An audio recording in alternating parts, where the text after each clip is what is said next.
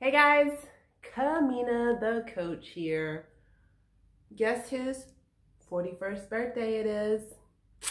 So, in honor of my 41st birthday on January 16th, I am going to talk about what in the world your age has to do with working and living abroad. Um, mostly, this has to do with um, those who are working for companies and entities that are from within a, the country. If you're working for an American company, I, I suppose it doesn't matter. So we're just gonna go ahead and dive into that. I'd like to make a PSA before I get started.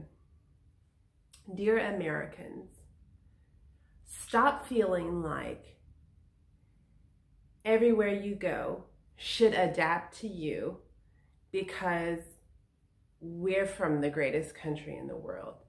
Just stop it, guys. Do your best to adapt to the culture where you are. And if you don't feel like you're flexible, maybe consider not coming abroad right now. It's really embarrassing um, to hear Americans say um, they should just learn English or why doesn't anybody speak English or this country is just too conservative for me or there's nothing for me to eat here. You're not in your country. So that's part of living abroad. So tone it down a little bit, Americans. It's embarrassing. Moving on.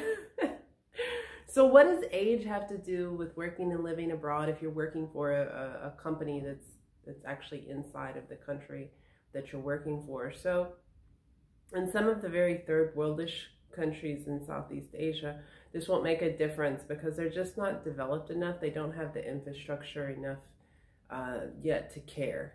But um, countries uh, like those in the GCC, in the Gulf Coast um, region, and um, China for sure, countries like this are going to put an age limit on those that they'll hire. And that I know of, there's two reasons for this. Um, so, um, well, three reasons actually. So some will put an age limit. Some some is um, a company imposed age limit, and a lot of times that has to do with well, they're trying to market to the parents. Um, if it's an education company, they're marketing to the parents and they feel that very young teachers are more attractive to look at. So um, I've seen age caps at like 30, 35. Well, I know I don't qualify for that. But um, in general, those really young age caps, that's um, in general what it's for. Where I was in Mexico, there wasn't necessarily an age cap but they wanted younger teachers. Why? Because it was a really harsh um, environment to work in. Uh, the, the temperatures were really, really, really high. So they felt that younger workers were going to be able to adjust to the temperatures better. Um, a lot of walking in the heat. So they just felt like um, I, that younger teachers were going to be better suited to that. So um, more attractive, number one, healthier. So a lot of places provide you health insurance, um, and it's by law that a lot of these places will provide you health insurance. Well, it younger just equals healthier, and that's just part of what it is.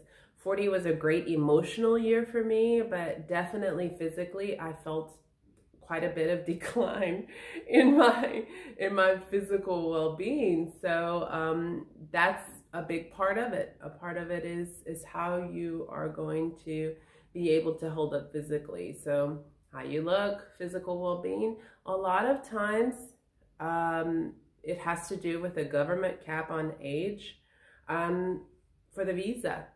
And the government will not offer a first-time visa for somebody who is over, let's say 50 or 55. 50, 55 are the age caps that I've heard. Now, if you've already managed to get into a place and they're just renewing your visa, I do know of teachers who've been able to stay past that, that cap. But um, in general, quite a few countries, governments have capped who they will give a working visa to. They feel like, um, I suppose, that these people are a health risk. So, um, yeah, so uh, looks, um, visa, um, looks, visa, oh, health. Yep, looks, visa, and health. So um, instead of getting your feathers all wrinkled, just look for someplace else. Um, keep looking. There are places that will make exceptions or revamp your plan. Um, so, of course, there's always going to be an exception to the rule. I'd be very, very careful entering someplace illegally, especially uh, someplace like China or the Middle East. I would be, um, especially in this day and age, I'd be wildly careful about that.